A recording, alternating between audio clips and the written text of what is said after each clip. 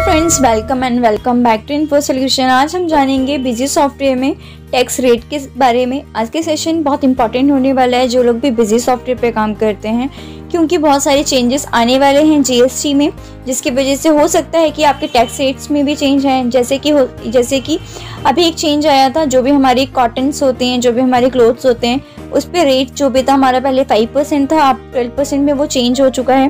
तो one one करके एक एक आप आइटम्स को चेंज नहीं कर सकते हैं। अगर आपने ऑलरेडी बिलिंग कर रखी है ऑलरेडी सेल्स के बिल काटे हुए हैं तो उसको आप चेंज कैसे कर सकते हैं? जो कि वन वन करके, वन बाय वन करने के बाद आपको बहुत ही दिक्कत आ जाएगी। तो आज के सेशन में हम बहुत सारे ऐसे वे जानेंगे, जिसमें आप इन टैक्स रेट को एक ही साथ सारे में चेंज कर सकते हैं। विद द इफ़ेक्ट फ्रॉम जिस भी डेट से आप चाहते हैं या कोई से भी प्रोडक्ट पे आप चाहते हैं तो आप सिंपली बहुत सारे तरीकों की आज बताने वाली हूँ, जिससे आप एक एक करके, आपको एक एक करके चेंज करने की ज़रूरत नहीं होगी, वो पूरे के पूरे एक ही बार में चेंज हो जाएँगे।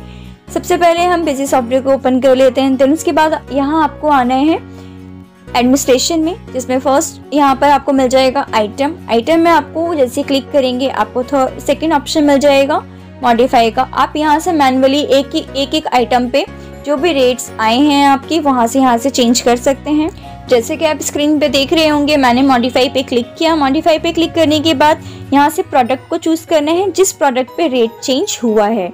मैंने यहाँ से वो प्रोडक्ट चूज़ कर लिया। देन उसके बाद मैं एंटर एंटर करने के बाद यहाँ पर रेट चेंज कर दूँगी। जैसे मेरे यहाँ पे फाइव परसेंट है, मैं इसको ट्वेल्व परसेंट करना चाह रही हूँ। तो मैंने यहाँ पे इसको ट्वेल्व परसेंट कर दिया देन एंटर एंटर एंटर करके मैंने इसको सेव कर दिया। अब ये पॉसिबल नहीं हो पाएगा अगर आप एक एक एक आइटम को ऐसे ऐसे करके मैनुअली करें।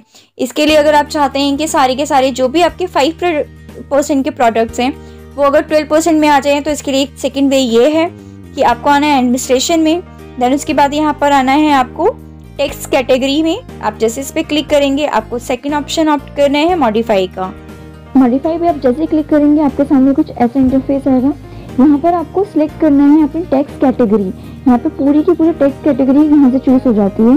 देन आप उसको पूरा का पूरा चेंज कर सकते हैं एक ही साथ। यहाँ पे हमें जो भी चेंज करना है रेट उसको चूज़ करने के बाद एंटर कर देंगे। एंटर करने के बाद आप देखेंगे आपके सामने कुछ ऐसे स्क्रीन आएगी। सबसे पहले वही रेट आएगा जिसको आपको चेंज करना है। देन आपको एंटर करना है। देन वो टैक्स का जितना भी डिस्ट्रीब्यूशन होगा, जो भी रेट है, वो हाफ़ हाफ़ रेट में डिस्ट्रीब्यूट हो जाएगा यहाँ पर। देन उसके बाद यहाँ पर आपको विद इफ़ेक्ट फ्रॉम में वो डेट डालनी है जहाँ से उस रेट के टैक्स की कैटेगरी को आपको चेंज करना है। जैसे मैंने यहाँ पे first four two thousand twenty one में डाल दिया, क्योंकि मैं इस फाइनेंशियल ईयर पे इसको चेंज करना चाहती हूँ। देन यहाँ पे मुझे वो रेट लिखना है जिसमें मुझे उस रेट को चेंज करना है। मैंने यहाँ पे ट्वेल्व कर दिया, मैं एंटर करते आप देखेंगे C G S T S G S T अपने आप हाफ़ हाफ़ में बढ़ जाएँगे सिक्स और सिक्स में। देन आप इसको सेव कर दीजिए। इस वाले मेथड से ये होगा कि आपकी जो भी इस टैक्स की कैटेगरी में, यानी फाइव परसेंट कैटेगरी में होगा, वो सारी की सारी ब्लिंक वो अपने आप ही ट्वेल्व परसेंट में कन्वर्ट हो जाएगी with effect from with the effect from first four two thousand twenty one यानी यहाँ से हमने जो भी डेट डाली है, वो वहाँ से लेके कन्वर्ट सारी की सारी टैक्स रेट हो जाएँगे। बट ये वाला रेट तब काम नहीं आएगा अगर आपके उस रेट में कुछ प्रोडक्ट्स पे रेट चेंज हुआ है और कुछ प्रोडक्ट्स पे रेट चेंज नहीं हुआ है। मतलब कुछ प्रोडक्ट्स ऑलरेडी अभी भी फाइव परसेंट पे है और कुछ कुछ चेंज होकर ट्वेल्व परसेंट पे जा चुके हैं। तो उसके लिए हमें थर्ड वे का यूज़ करना होगा। इसमें आपको फिर से एडमिनिस्ट्रेशन पे जाना है। एडमिनिस्ट्रेशन पे जाने के बाद आपको यहाँ पे मिल जाएगा बल्क अपडेशन आपको इस पर क्लिक करना है। बल्क अपडेशन में क्लिक करने के बाद आपको थर्ड ऑप्शन मिल जाएगा।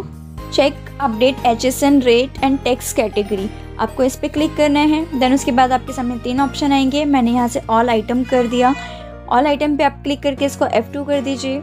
F2 करने के बाद आपके पास जितने भी प्रोडक्ट्स हैं, यहाँ पे आपके सामने पूरी लिस्ट आ जाएगी। आप इसको वन बाय वन करके चेंज कर सकते हैं। जो भी मेरी आइटम 12 परसेंट में जा चुकी है, मैंने उसको 12 बारह कर दिया। जो मेरे फाइव परसेंट में मैंने उसको फाइव परसेंट में रहने दिया, इस तरीके से मैं वन बाय वन करके यहाँ से चेंज कर सकती हूँ। और अगर मैं चाहूँ कि पूरा का पूरा रेट एक बार मैं चेंज कर दूँ तो उसके लिए आपको यहाँ पर क्लिक करना होगा अपडेट टैक्स कैटेगरी तो जैसे आप इस पर क्लिक करेंगे, आपके सामने यहाँ पे रेट के लिए ऑप्शन आ जाएँगे। आप उस रेट को जिसमें भी कन्वर्ट करना चाहते हैं, मैंने बारह चूज़ किया। यहाँ पे आप देखेंगे सारे के सारे रेट्स ट्वेल्व परसेंट में कन्वर्ट हो चुके हैं। इसी तरह से अगर मैं इसको फाइव परसेंट में चेंज करना चाहूँ तो फिर मैंने इसको अपडेट एक्स कैटेगरी पे क्लिक करने के बाद मैं इसको फाइव परसेंट पे भी चेंज कर सकती हूँ। देन आपको सिंपली इसको सिलेक्ट सेव करना है। सेव करते ही आप देखेंगे कि आपका जो भी टैक्स रेट है वो चेंज होके सेव हो जाएगा। तो मेरी जितनी भी आइटम्स थी वो सारी की सारी सेव हो चुकी है। मैं स्केप करके मैं इसके बैक पे गई।